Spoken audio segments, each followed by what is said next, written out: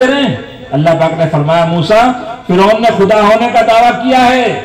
ہم نے اپنے رازق ہونے کی نفی نہیں کی ہے۔ اس کا عمل ہے، ہم تو نافرمانوں کو بھی دیتے ہیں۔ دوستو، جب انا ربکم اعلیٰ کہنے والا محروم نہیں ہے روزی سے، تو ہم تو سجدے میں صبح اعلیٰ کہتے ہیں، خدا ہمارا دامن خالی کر دے گا۔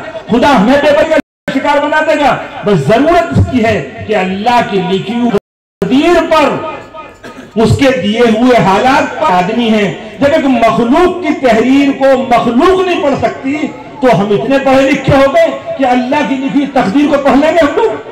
کہ جب اللہ کی لکھی تقدیر کو ہم نہیں پڑھ سکتے، تو ایمان کا تقاضا یہ ہے کہ ہم راضی رہنے کا اہتمام کریں کہ جو اللہ نے لکھا ہے، جو خدا نے فرما دیا ہے، ایسا ہی ہو کر رہے گا۔ اور جب آدمی خدا کی لکھی تقدیر پر راضی ہوتا ہے، تو اللہ اس کی زبان سے شکایت کو ختم شکر پیدا فرما دیتے ہیں روزی اللہ کے ہاتھ میں اس لیے دو درخواستیں آپ سے کی گئی ادب کریں، قرآن کریم کا بھی اور اللہ کے منادی کا بھی۔ دوسرے نمبر پر، راضی رہنے کی کوشش کریں تقدیر پر، خدا کے لکھے ہوئے پر۔ اور اس کا خیال رکھیں دوستو کہ اگر ہم ان دو باتوں پر عمل کر لیں گے، سب سے پہلی بات کس پر؟ کہ اللہ کا، کتاب کا، اس کے رسول کا حتیٰ کہ علماء نے تو لکھا کہ شیطان کا بھی ادب ہے، ابلیس کا بھی ادب ہے۔ ابلیس کا کیا ادب ہے کہ اس کی ماننی نہیں ہے۔ اس کی مغالبت کرنی اس کا ادب ہے۔ اس کو بھی محروم نہیں رکھا، علماء نے لکھا ہے۔ شیخ ابو بکر نظائی جی تھے، انہوں نے کتاب لکھی، منہاج القاصدین اس میں لکھا ہے اس کو کہ شیطان کا ادب یہ ہے کہ اس کی ماننی نہیں ہے۔ اب ہم خود سوچیں کہ جو کچھ ملتا ادب پر ملتا، بے ادبی پر نہیں ملتا۔ اور پھر جب آدمی کو احساس ہو جاتا ہے دوستو، تو دعا کا اہتمام کرنا چاہیے آدمی کو۔ توبہ استغفار کا اہتمام کرنا چاہیے۔ توبہ کسے کہتے ہیں؟ اچھا عجیب بات ہے۔ وہ سب کے ساتھ مرد ہے کہ ہر آدمی دوسرے کو گناہگار سمجھ رہا ہے۔ اور گناہگار میں ابھی اس کا خیال بھی نہیں۔ جس کو دیکھو، جب کہیں دین کی بات سنو، تو فوراً انگلی سامنے والے پر کہ یہ گناہگار۔ یعنی ہماری عجیب غریب نظر ہے کا بھی دیکھ رہی ہے۔ جسم میں وہ آنکھ ہے، وہ دکھائی نہیں دے رہا کہ جسم کے اندر بلکہ گناہگار سمجھنے کے سلسلے میں ہم سب ایسے ہو گئے نواب واجد علی شاہ کی طرح لکھنؤ کے نواب صاحب تھے، نواب واجد علی شاہ۔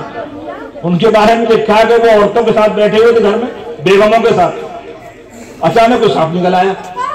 اور وہ جتنی عورتیں تھیں، وہ چلائیں کسی مرد کو بلاؤ، کسی مرد کو بلاؤ، کسی مرد کو بلاؤ۔ تو نواب صاحب بھی کہہ رہے تھے، کسی مرد کو بلاؤ، کسی مرد کو بلاؤ۔ عورتوں نے کہا آپ تو مرد ہیں. رہے ہاں میں تو مرد ہوں جن کو یہ پتا نہیں کہ وہی مرد ہیں. تو یہی حال ہمارا ہوتا ہے کہ سب گناہگار ہم سب گناہگار۔ ہم میں بھی گناہگار ہوں۔ کبھی اپنے آپ کو نہ قرآن پر پیش کیا نہ حدیث پر پیش کیا نہ کبھی قرآن کے آئینے میں اپنے آپ کو کھڑا کیا نہ حدیث آئینے میں کھڑا کیا۔ اور سب کہہ رہے تھے کہ سب گناہگار ہیں۔ لیکن میں؟ میں تو جب گناہگار ہوں جب اپنے آپ کو آئینے کے سامنے کھڑا کروں تب اندازہ ہوگا کون گناہگار ہے۔ سب کے سب گناہگار ہیں۔ کلکم خطاؤن ایک بھی ایسا نہیں ہے۔ اگر کوئی یہ کہہ دے کہ میں الحمدللہ بے گناہ ہوں، مجھ سے کوئی گناہ ہوا ہی نہیں ہے یہ سب سے بڑا گناہ کہ اپنی پاک ظاہر کرے۔ فلا تزکو انفسکم۔ صوفیت کا ڈنکا مت بجاؤ وہ عالم بمن اتقا۔ وہ خوب جانتا ہے کون کتنے پانی میں کھڑا ہوا ہے۔ وہ خوب جانتا ہے رات کس کا اچھا ہے، رات کس کی اچھی ہے اور دن کس کا اچھا ہے۔ بخوبی جانتا ہے کہ سٹر گرا ہونے کے بعد اس کی دل کی حالت کیا ہوتی ہے اور مسجد میں کھڑے ہونے کے بعد دل کی حالت کیا ہوتی ہے؟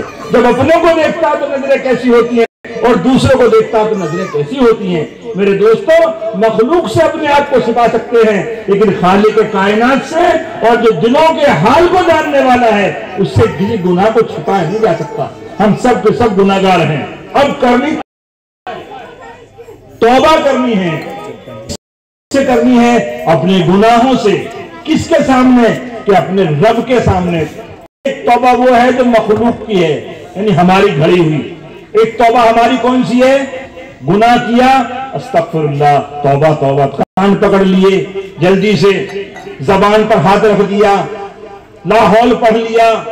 یہ ہمارا